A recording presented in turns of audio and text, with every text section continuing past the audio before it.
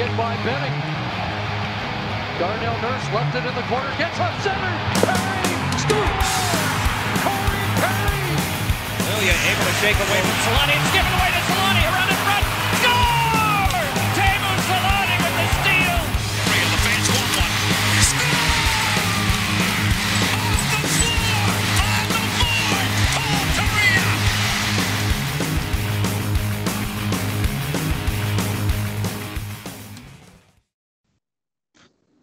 Hey everybody, welcome to another episode of the Forever Mighty Post Game Show. It's uh, Pat and Jay on the show tonight, man.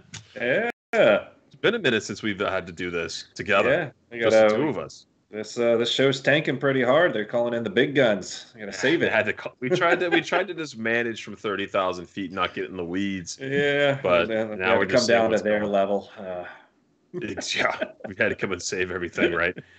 Um, so the Ducks lost, and it was almost like it was just a repeat of last Tuesday, minus Josh Manson getting concussed, yeah, right? And taking a, a nice little uh, bop to the face and uh, not since return.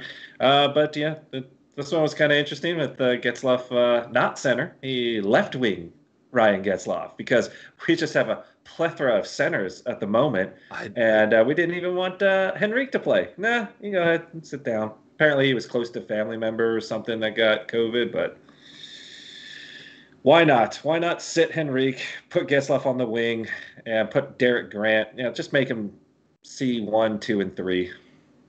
I mean, Sam uh, Stone four. another four-one loss. Yeah. Wild, just weird lineup stuff going on tonight. Um, I don't, I can't really tell. Uh, I was at the game on on uh, on Saturday against Vegas, and then I, I, you know, the game on Tuesday was a train wreck. But the Ducks actually really tried hard against Vegas, but Vegas is just outpacing and outclassing everybody. Yeah. Uh, tonight, I just I was like, are they not trying, or are they just really bad? And I think it's probably a mix of both. Because Yeah. I didn't really see the effort in there tonight, man. It, it just didn't look like they cared that much. Yeah, I think uh, maybe a little bit of checking out. Season's done, season's over. Um, you know, other, and, and it's a little bit more difficult. I, I remember uh, reading uh, the article from uh, I think it was um, uh, Eric Stephens where he was saying that you know these guys can't even leave their home. They can't go out and do anything. They can't even go get groceries. They their families encouraged not to go out either. So for them, this season really didn't amount to much, and they're basically still kind of in lockdown in their homes. So I'm sure, like for these guys, it's just kind of going through the motion of whatever they're going to do. But uh, yeah, couple that with uh, injuries, lack of talent, and uh, that's when you get a crapper of a game against the Kings.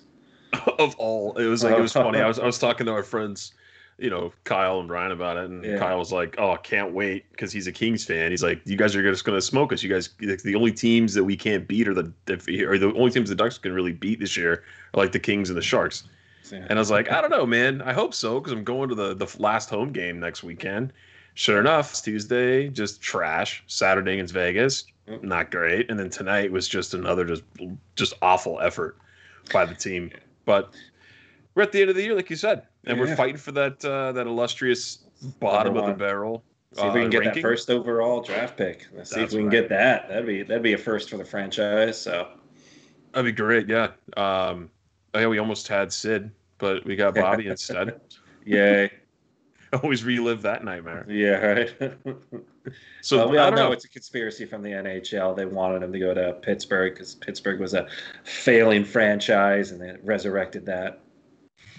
Uh, aren't we always like in between being one of those franchises? Like we're, we're not always on the edge of failing, but I always feel like we're that small market team that could probably use a superstar two Yeah. to come back to Yeah. Anaheim. Yeah, right in that spot.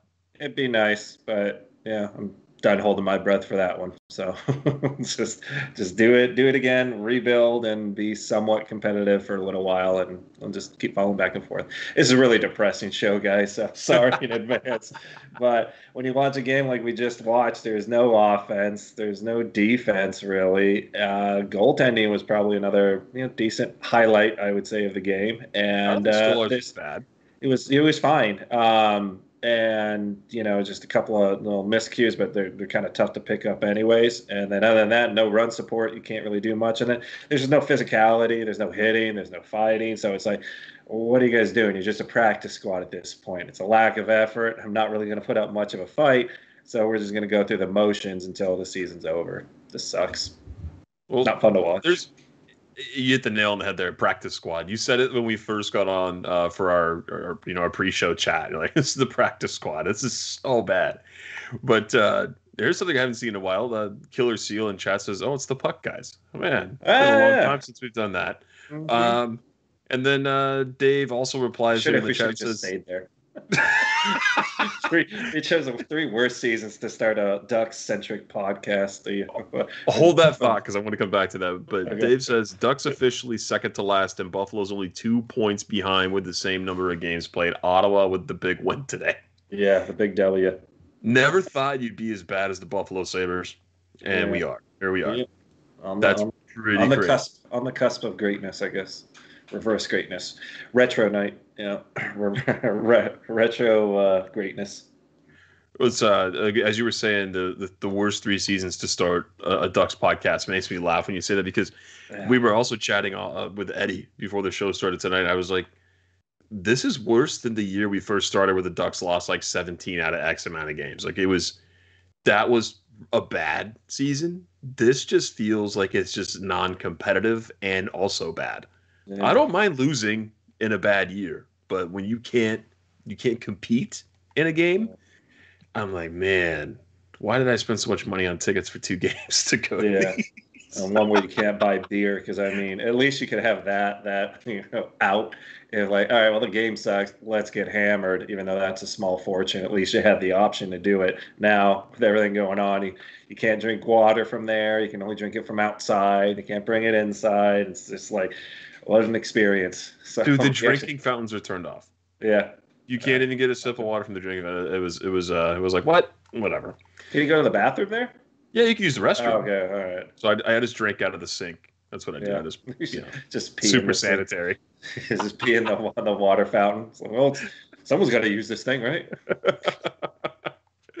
so our bet's 970 in chat says what goes down must go up. That's true. We Yeah. just hope that it's a, a quicker bounce back than what it's looking like it's going to be. It, it just, I feel like it's going to take a little longer than what people are saying. Five year rebuild. We're in year three. Or are we in year two? What would you say? Pro, I would probably say three because I, I still feel. Like, I mean, we've had last year and this year, and then I think the last year where we had uh, Carlyle, that just wasn't admitted, but everyone kind of saw that that was kind of going to happen, and then at a lot of. So I think that was maybe our first start, but I don't even think they were really trying to make it a rebuild. So I would. I, now now I'm thinking about it, I'd probably say it's our second year where you know we're getting higher draft picks. It's kind of coming to focus, or we're trying to get younger and you know rebuild that uh, prospect pool. I think we've kind of focused a little bit more the last two seasons on that. I would I would I want to say three because then it feels like we're closer to being better. but I think we're probably in year two. I would agree with that. Yeah. It feels like three because I think three years ago was pretty awful for sure. Uh, and then like you know Kesler not coming back. Eaves, this guy's got horrible injuries. Perry wasn't himself. You know he gets bought out. All this stuff happens. The team kind of gets not blown up, but it did change drastically. But money was still tight. Cogliano is gone. Yeah. Yeah, a lot of the core that was that was kind of holding the team together and being competitive over the previous seasons is just not here anymore. Uh, and that was strange. Ryan Getzlaf playing right wing tonight, or yeah, So was he playing right wing or left I wing? Someone in was chat playing said left wing. left wing. Yeah. I think it's right wing. It's right wing. Okay. Whatever. We're wrong. No, So- right. You're wrong. DB Lowry says it was it was right wing, and Oh, okay. actually in our notes it says right wing. So no, it was left wing. You're both. I don't understand why he was playing wing to begin with. I, I don't. I, it's just like what? Uh, whatever. That was Yeah. strange. And on Yeah. the fourth line. Okay. Okay.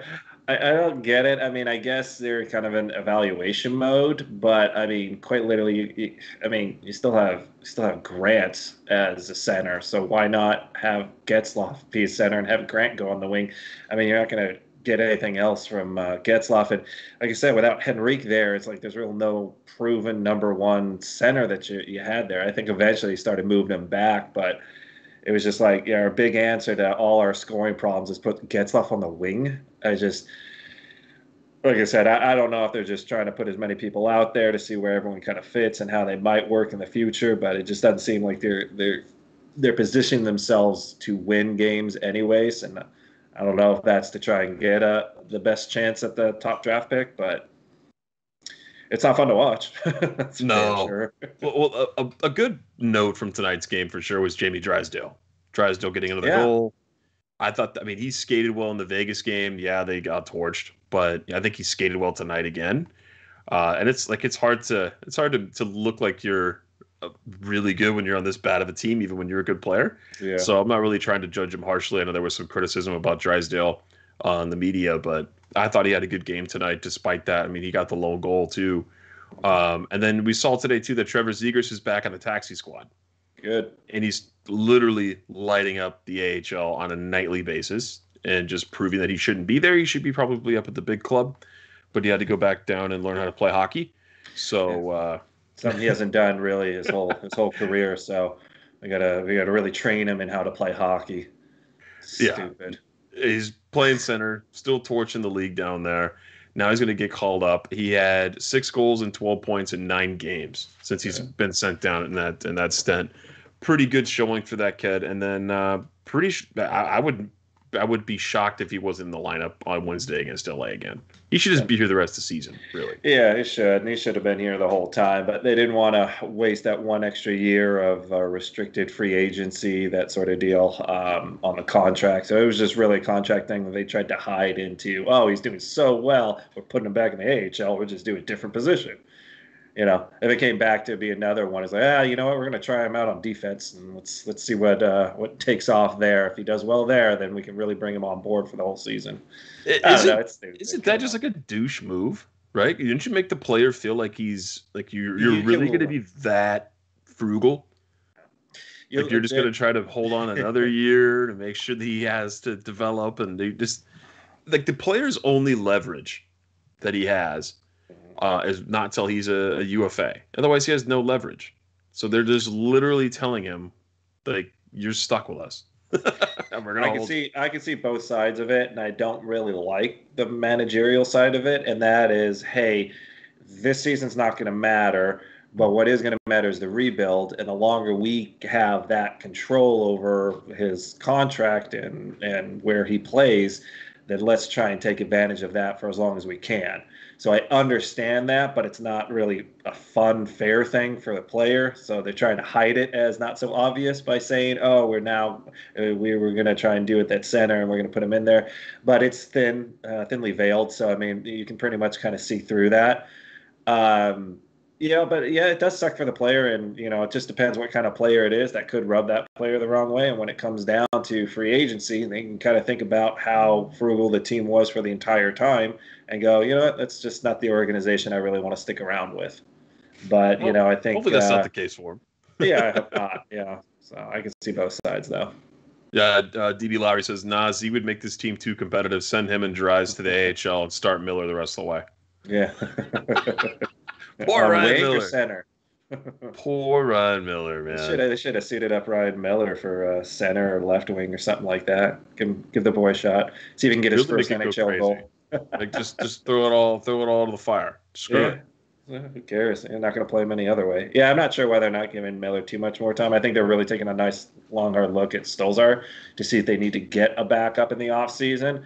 But even in the games he hasn't the stats may not have been there. He's looked solid, so um, I think he's kind of solidified himself. And if, if he can keep the Ducks in it like Gibson does, man, by all means, let's let's keep that guy around. So I think he deserved that. He's definitely the backup next year. There's mm-hmm. and there's no way he's getting taken. There's he's not going to to Seattle. I can't imagine with the list of the list of uh, NHL caliber goaltenders that are going to be available to be picked. Yeah, I don't think he would so be at the top options. of that list. So not too concerned about that there. Nope. Nope. Not when you got Vegas over there sporting Robin Lehner and Fleury. I could take either one of them, I guess. I, what is your opinion on something I, that uh, was in the Athletic today by Eric Stephens? It was um, talking about David Backes, about how uh-huh. he's contemplating retirement at the end of the season. Yeah, you kind of feel for that guy, right? Like, he was a good player in, in his time for sure, but not with Anaheim. No. And it's just kind of a bummer to see him come to a team and kind of end it on on the last leg of his career on a team that's like gonna finish in the bottom of the barrel. It's kind of rough.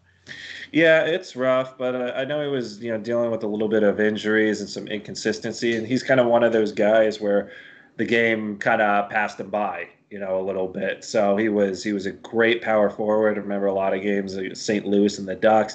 You know, he was very comparable to Ryan Getzlaf, just not all the way skill wise, but he could score. He would be in front of the net. He'd be pain in the ass to play against. A little bit of a mean side to him. And kind of went over to Boston, and you know, he, he kind of brought that but the game started to change right around that time. And that's when he kind of started to struggle putting up points. He had to be faster, quicker. The grinding game kind of went away. And uh, I think he was dealing with some injuries too that kind of limited his Mhm. playing ability. And so, you know, it's it was the last contract of his career. You know, it's tough to to really kind of put him on anywhere else. But I mean, he, he gave it a good shot from all accounts. He worked really hard in the off season, worked hard in practice, but um, yeah, it was just it's that time. It, it happens at some point. You we get told that uh, you can't play hockey. Well, he was always a 50, 60 point guy, probably in his prime with St. Louis. And he was always a tougher guy. Like he was always getting penalties. He'd be in fights. He, you know, he was Right, always in scrums. He was definitely a leader on every team he played on for sure. It's just I just kind of I kind of feel for the guy, man. That's a tough way to go out like that.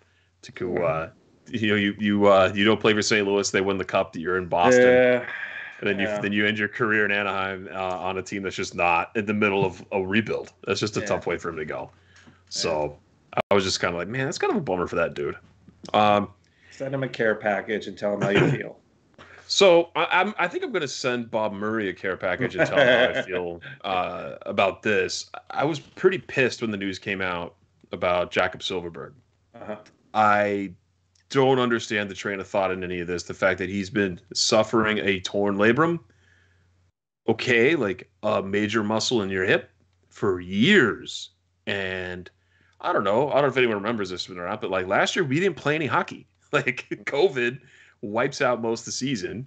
He had tons of time to recoup and get surgery and all that. I, I don't understand how the team didn't, especially with what we saw with how bad hip injuries are with Ryan Kesler. Like, why would you not take care of this? Why would this be a thing that is not taken care of eh, when there is time where he doesn't have to play hockey? I don't get it. I'm wondering if there was kind of, uh, you know, more conversations that we're not privy to that maybe, you know, Silfverberg didn't necessarily want to go through surgery or it wasn't bad enough that it was severely affecting his play until it got to about this year. And then we could really kind of see that it just wasn't quite the same because I didn't think it was particularly bad last season. It was still kind of getting up there in goals and points and things like that. So I, I think it was kind of good. And then I think that time off, uh, they thought maybe just that time away might be able to heal it a little bit, you know, on his own. And then, you know, like I said, who knows? There's probably something the player did, but I don't feel like it was the management saying, listen, you can't get surgery. We can't have you do that. It's just let us know how it's going.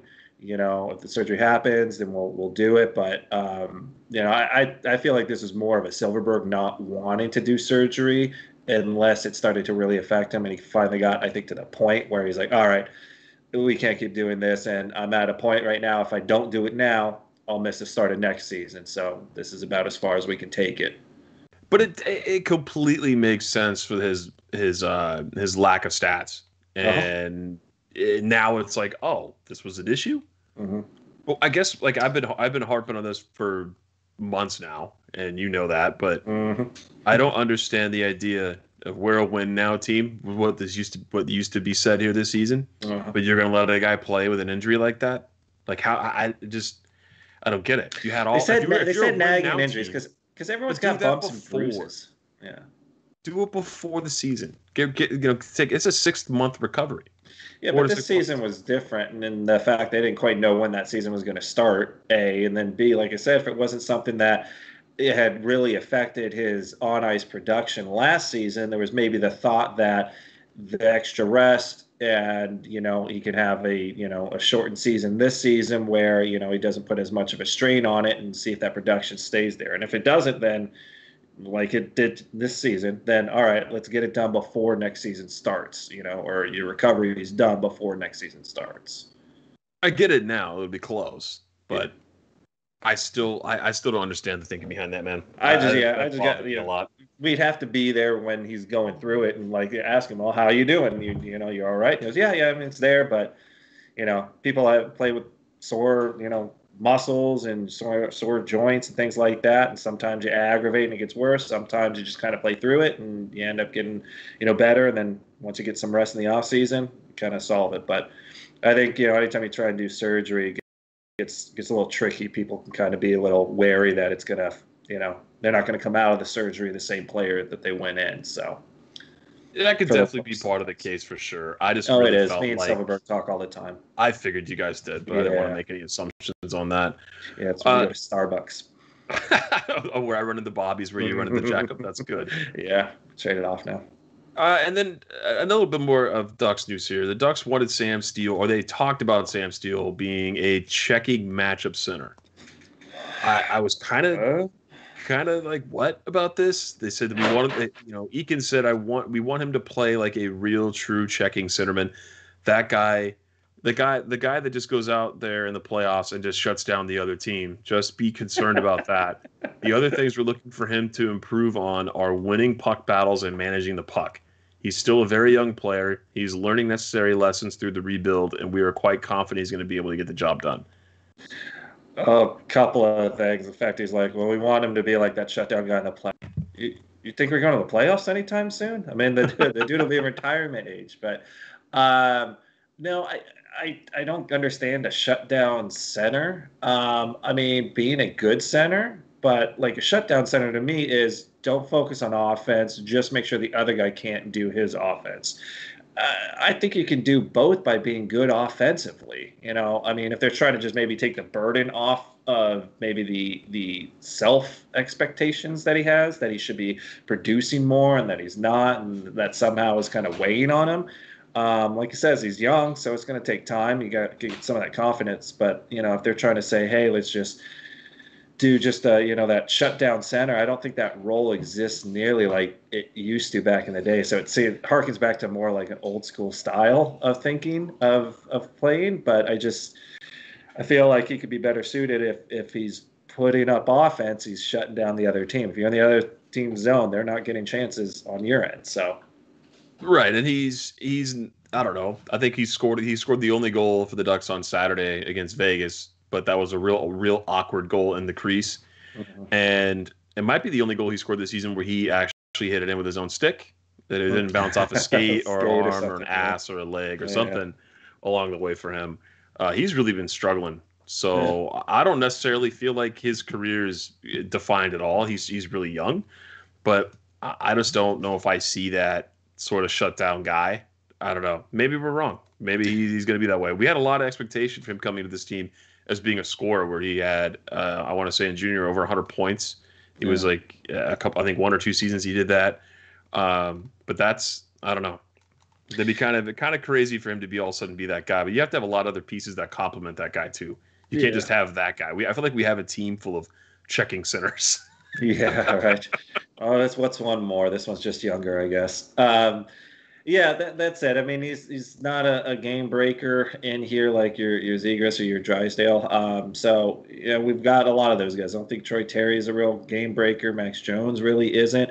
But if you you get those pieces and you get other pieces around them, they could probably complement each other. And it's finding that combo and and having that take a little bit more time to develop. So I'm still willing to kind of give that uh, Sam Steele more time to kind of move into his role um, and bring it all kind of together. But yeah, anyone that's rushing to try and define where he needs to go or how he needs to play, especially if it's a shutdown center role, I just think that's misguided. I think we got to try and figure out what he's he's going to be better at, and I think he's got needs a little bit more time to try and find that offensive side. Dave said Steele, the new Andrew Cogliano, just at center, same stone hands. Yeah, slower slower. too. Yeah. a little slower. The, I guess that would be good if you're able to work that out with him being that guy. But like you said, I don't, I just, I don't know. That's a tough one. But interesting thoughts there for uh, for the Ducks to take a look at that. Um, I want to go on here next. I don't really want to talk too much more about tonight's game, so I think I want to g- just get a little prediction out of you here. Oh, So we have we're going to talk about the Ducks games for sure, just the ones coming up. okay. So the remaining games in the schedule, I think we have five games left. Uh, sorry, yeah, I miscounted. One, two, three, yeah, seven. Do you think they win you any use your other of the remaining? huh? Do you think they have? Do you think one? Do you think they win any games of the remaining seven? Yeah, I think they'll sneak one out of the Kings probably. Um, especially if Jonathan Quick keeps playing. What about who else do they play? So they got four, three more against the Kings. That means they got four against two. Yeah, so they have Kings Wednesday in two days. Uh, then they have the Kings Friday and Saturday this weekend, and then next week they have Monday, Wednesday against St. Louis on the road, and then they wrap up the season with back to backs Friday and Saturday against Minnesota and Minnesota. I say they get two wins. I think they can get one out of St. Louis and one out of the Kings. Um, Think so? Yeah, because they, they, they don't play St. Louis too terribly bad. Um, just like they don't uh, play Colorado all that bad. It's just Colorado is really talented, so you have to play perfect. Uh, but I mean, we don't, you know, minus the last game against Colorado. But most of the time, we play pretty well against Colorado. I think we play pretty well against St. Louis too. And St. Louis has had their own struggles. They're they're fighting off Arizona to even make the playoffs. We had them top three, so um, you know they're they'll struggle. I mean, Minnesota, we might be able to do one because they may start resting uh, guys because they've already clinched a playoff spot. There's a possibility somewhere in there, either St. Louis or Minnesota game, but Minnesota's had our number pretty well this this season. But we haven't played them in a while. I mean, wait till they see us now. We're gonna really, really take it to them. But I Yeah, know. wait till like- you see how good we become. yeah, yeah, remember how bad we were before? Watch this. I was gonna say they were they were gonna win a few games at the end of the season, especially with with Z coming back into the lineup. I mean, if he's not in on Wednesday, he's most likely in on Friday and Saturday. I just think you know now now with with Silfverberg out, Henrique, who knows when he's exactly coming back. Defense is still somewhat decimated. Um, you know, like I said, the, the Kings are the more likely one that we get a win out of it. I mean, this one was a somewhat close game, even though we didn't play well. We were only down two one, two empty nets. Um, you know, so score looked a lot worse. But if we can, you know, have someone go out there and do something a little bit different, get a little bit more speed, a little bit more confidence, uh, like Zegras or something, then maybe that can kind of be infectious to the rest of the team. So, Yeah, that guy's always fun too. He's always having a good time when he plays hockey, so that'll be fun when he gets back in the lineup.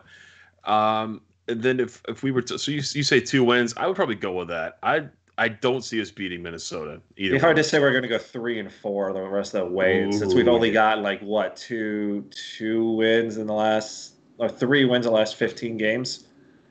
so we're gonna get three in the next seven. I don't know, man. I mean, we're not playing San Jose, so Yeah, that's, that's the only team. If we haven't won a home game, if they don't, if the Ducks don't win on Friday, it's it means they didn't win a home game uh, in the month of April. Because the only and the only three wins they had in the month of April were against the Sharks on the road. Mhm. So there's a great stat. Um, and then I, I have something I want to talk to you about because you haven't chimed in on our uh, on our on our uh, Twitter chat between us for the podcast, and I'm sure people I don't in like you guys. chat are going to get are going to maybe get fired up on this, but um, Connor McDavid, 81 points, killing it this season. What a hack! I'm sure he didn't do anything special I- tonight. yeah, he sure didn't. Yeah, What I was going to say with him is that he has played 45 games, or maybe 46. I think he played tonight. Yeah. 81 points. he had a hat trick tonight. So Did he really? yeah, that's what I Oh, was dude, I was like, he had three points. He had a hat trick. Okay, Yeah, what yeah, team did he play? uh, Winnipeg. Oh, see, that's what I'm getting to here. So, uh, Connor McDavid, hell of a player. Definitely, f- for me, one of the top two players in the league for my money. Easy. Uh, he Definitely the best Canadian player. Yeah, I would say he's the best Canadian player. Auston Matthews is right up there with those guys. Also, uh, he's mostly number one most of the time when I talk to Canadians about him. Yeah. Um, but do you think his numbers are inflated purely because of this season?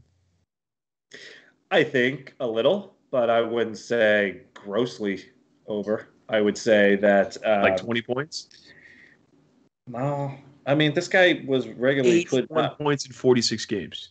So what? So he's averaging like what one and a half points, and now he's doing closer to two per game. ish, somewhere in there. So uh, they're slightly inflated, uh, but he's also very good and he's getting better. But yeah, he's also gets to play a lot of uh, game against uh, Ottawa. Calgary's been crap this year. Winnipeg struggled. You got your Montreal time, and then they seem they seem to not do well against Toronto. I was almost going to say, oh, he gets to play against Edmonton. They suck. oh yeah, he's on that team. yeah, right. Um, so it's inflated, but I mean, the guy's really good, anyways. I think if he was playing all the other teams, he'd probably see him do more of that. Um, there's probably less travel that he has to do, so that can also be a little bit more of a boost. Just he doesn't have to go and play in Anaheim and LA and then San Jose and then go back to Edmonton and then go down to Florida, that sort of deal. I mean, he kind of stays a little bit closer, but everyone's kind of got that advantage. So, Uh, Do they though? Because I, I I've been arguing with Eddie, and I don't know where Steven stands on this or you. That I feel like it's the NHL's beer league. Like it's a fun it's a fun division to watch because the, it, it, it's the, you know back and forth hockey. Sometimes you get high scores like you know and McDavid's torching them. uh, not not goalie friendly. No, I, I kind of feel like he's like if I were to say, like I feel like he's a gold player in beer league playing on a silver team. Yeah, but I'd say he'd do that anyways. He he looks like a gold league or gold level uh, player in this league. I mean, he's he's But these Oh, teams aren't. Uh, I just have such a hard time. I, I'm, he's playing in the beer division, the beer league division. I, I don't think he would be torching it if he played uh, in any other of one of these divisions at all. And the he- Pacific's not that great. Yeah, I mean, he might have to, you know, obviously he'd have games where he'd have to go against, you know, the Lightning or, um, you know, Florida. But uh, even then, if you kind of look at those teams this season, they're they're they're not all that super strong defensively. They're they're quite offensive as well. So I mean, it's they, they'll trade punches, and it just depends how many times that Connor McJesus is going to score goals or set people up, and he's really good at that, and he's still getting better year in and year out. So to see him progress a little bit is not out of the ordinary. This one's probably a little bit more, but like I said, I- like I said, I- it's probably inflated a little bit, but I'm not going to say it's like, oh man, if this was the other way, he'd be 20, 30 points less this point in the season. I, I would expect him to be halfway because if this was a regular season, halfway through the season, I would say I would expect him to be at 70 points at this point. Eddie just said, "I will concede." He chimed in for us on our Twitch. I will Uh-huh. concede that 21 of his points have come against the Ottawa Senators. Okay. He's going to play them anyways, but Yeah, but he's not playing them 9, 10, 15, I don't know how many times they played them. in nine games. eight or nine. Yeah. Nine games. Yeah. Yeah. I just oh my god, man. He he is one of the best players for sure. Not saying that, but like there's no way this guy's doing this to everyone else in the league if it's a regular season. And I still think he would I still think he would lead the league and get the Art Ross. No doubt. Yeah. Mhm. Yeah, I'm not saying that, but I think like it's I feel like it's like padded by 20 Art, points. wait, the Art Ross isn't that for the playoffs? You mean the the Hart? Or yeah, the Hart. Well, Yeah, okay. Art what are you Ross is talking for about the, the Hart. Art Ross is leader in points. Art Ross. I thought was wait. What's the what's the MVP of the playoffs? I swear we watch Uh, hockey. yeah, Conn Smythe, you jackass. Conn Smythe. There we go. All right. They should just name it playoff performer award. so bad. We're having a Ducks night. That's what Yeah. it feels like. You literally had me questioning whether I knew that or yeah. not. See, I'm What do convincing when I ask questions, right? Uh, And Dave's chiming in. Hey, Dave, relax. Okay, we, it's been a long time since we watched playoff hockey. Okay. Yeah. Wow, playoffs. Listen, we have a couple of questions that we'll get to here for the night, um, and I thought this would be funny too because Victor asks, "Is Patrick Roy someone the Sam Willies may have a conversation with, whether it be for coaching or front office?" I'm surprised anyone would would be that interested in Patrick Roy, if not just for name recognition, because the way he just bailed on on uh, Colorado, um, he was it- just before the season ended. He's like, I'm not I'm not coaching anymore, and just walked. I don't think people I don't think people remember that. It was like what, and they were like, it's like we were gonna we had a thing where we were gonna we are gonna build this team up and go into the the draft and things like that. It's nah, I'm out. It turns out fine, worked out fine for Colorado, but I don't know, someone who's just I don't know. He's kind of an angry dude too. It's kind of like a John Tortorella type, but uh, you know, doesn't necessarily have that the pedigree of John Tortorella. So, I mean, you get it for maybe just the name recognition might put people get people optimistic about your team, but you know, he's going to go on a crappy team, you would think, or middle of the way team. I don't think that the Ducks would be all that interested. I don't think he's really a guy that's going to inspire the players to play better or whatever he wants to do. So I still think uh, Eakins probably still gets another crack at it, possibly next season. Just uh, I'm not sure about Bobby. And then even if it's not, I would still rather take uh, Gerard Gallant if he's still floating around somehow. That dude doesn't have a coaching job. I don't get it, but Oh, apparently he doesn't sit well with owners or anyone in management because he wants to do his own thing and wants to have control. I don't, they don't care. He does does so well. he does it so well. So I would whatever. embrace the shit out of Patrick Roy being coach. I think that would be that would be so destructive and chaotic that it'd be it would just be so it much fun. It'd be so much fun. Oh my god. You don't remember when he shoved the glass between the benches with Brucey? Yeah, exactly. Another reason where I'm sure we probably didn't really want uh, want to consider him for the job. It's a loose cannon, man. You can't He's have that. Wild card. He's Charlie Okay. from It's Sunny. so I don't know if it really kind of fits our kind of more laid back style. If that's kind of what we have as far as our identity of our players, like Getzlaf's pretty pretty laid back guy. You got Zegras out there; he's pretty laid back. Um, and then you bring in this hyped up guy. I don't know. I just yeah, go All ahead. gas, no brakes, baby. Yeah, all right. run this red line it. 60 right into a wall. All right. Max those RPMs. Bring in a crazy psychopath for a coach. I think that would be awesome for this team. I think it'd be great. Um, if we're I gonna, expect- if- yeah, it would actually be more entertaining than watching this. Like, if we lost this game, I would like, all right, well, what's the presser going to be like? like, at least I'll have that to look forward to later. But uh, yeah, that's about it. But I don't know. I can see that getting old after a while. so that's your favorite to replace Dallas Eakins would be Gerard Gallant. That would be the guy I would want. Um, you know, who knows who comes along or how, how they're going to do it, but I still think that he's he's gotten the raw deal out of the two two teams he's coached. Um, and he's coached them well, and for whatever reason, they just they just dropped him. So I, yeah, he's always good. Whatever team he goes on, he's he's done well with them. So get him back in here. And And recently too, it's not like a long time ago he was gone. So No, it's true. I just I, I don't know if they could afford him, right? And I, they probably can't afford Patrick Roy either. To be honest with you, it's going to be a lot of money either way. But I, if I had to pick between the two without being an asshole, I would definitely say I'd rather have Gerard Gallant. I agree with you on that. Yeah. Um, it'd just be more fun to have Patrick Roy because he's insane. Yep. So Steven put up a poll that said uh, which player has the highest annual average value on their upcoming deal. Which player gets the longest term? Between Lundestrom, Jones, Comtois, and Steele. oh, like what they're going to get. Yeah, like who do you think Uh, is going to get the most there? Or Okay, the, so- and the longest? Lundestrom, Jones, Comtois, and Steele. Who's going to get make the most money on on average per year? Comtois. Because 'Cause he's a scorer. Goals. He's a score Yeah. goals. Yeah, you'll pay more for that. Lundstrom, I'd probably say second, and then uh, Jones, and then obviously Steele. They're shaping up to be a shutdown center, so you don't really shell out a bunch of money for that. But uh, Do you think that they just get, like threw shade at Steele's games so they can pay him less? Like he's going to be a check. Like they literally titled what he is. I don't know. Yeah, they're like typecasting him as to the role he's going to play moving forward.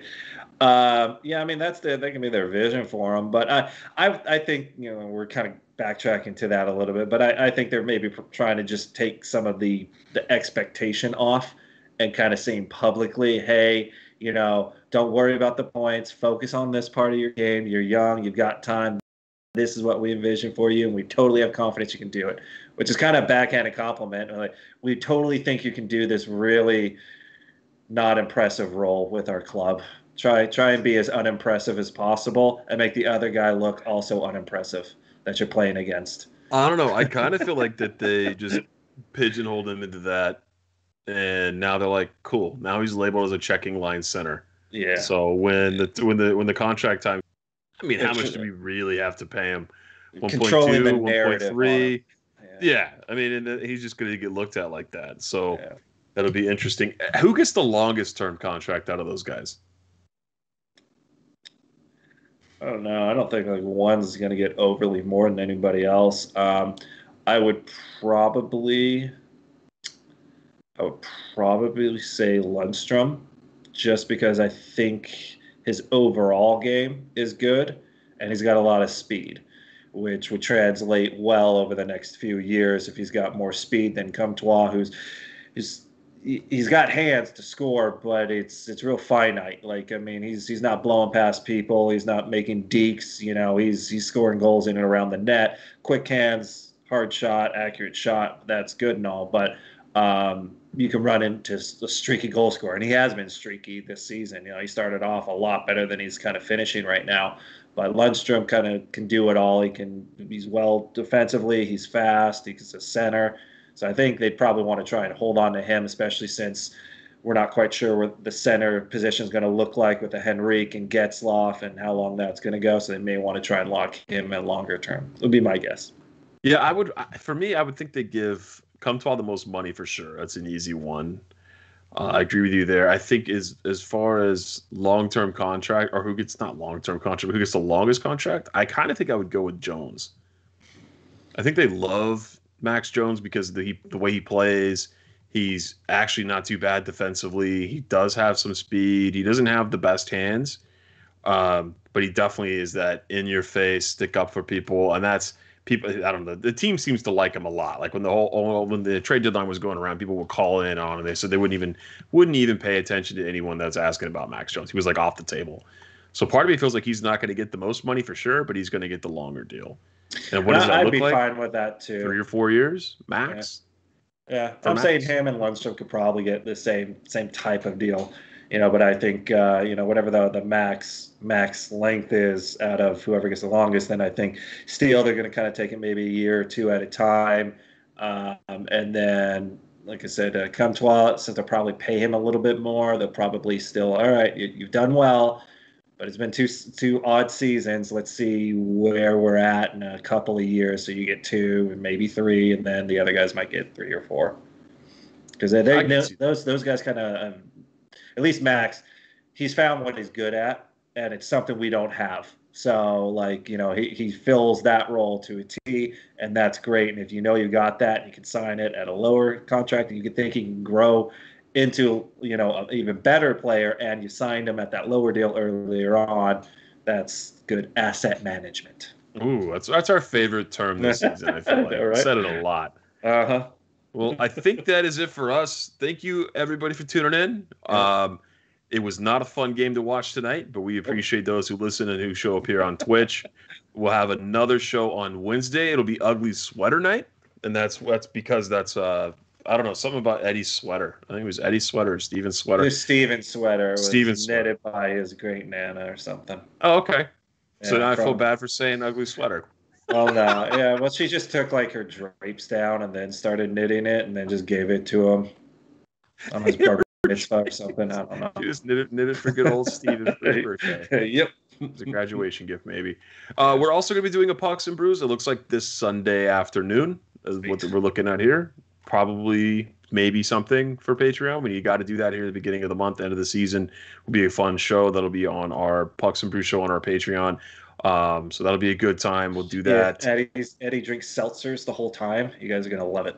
Yeah, he, he he's kind of just he's just been that guy. He's just always done White Claw or he's always done Trulies and I we try to get him to put vodka in the drinks. He never does it. Like, Yeah, just- or he pretends to swig it, and makes like ooh. Yeah. I, I think he Nice. literally just drinks lemonade, and it's Yeah. not even alcohol. yeah, I think so. That That's why he drinks clear liquor. Clear liquor because Yeah. you can't tell if it's water or not. It's Yeah, very true. Like I said, yeah, and yeah, he's such a great actor, thespian that he just he can just act his way into oh alcohol icky taste. but he, he- yeah, he makes it seem like it's brew. Yeah, sorry. Oh, Hard DB Lowry says there ain't no laws when you're drinking claws. Oh, that's so terrible. That's so bad. But uh, that'll be it. That'll be fun. So that'll be our Patreon show this week in Pucks and Brews. We'll put more out on that on Twitter. So stay Yeah. tuned for us on there. We'll be back with Eddie and Steven with a show after the Kings game on Wednesday night. And uh, we'll go from there. Hope you guys all have a good one. We'll talk soon. Bye guys.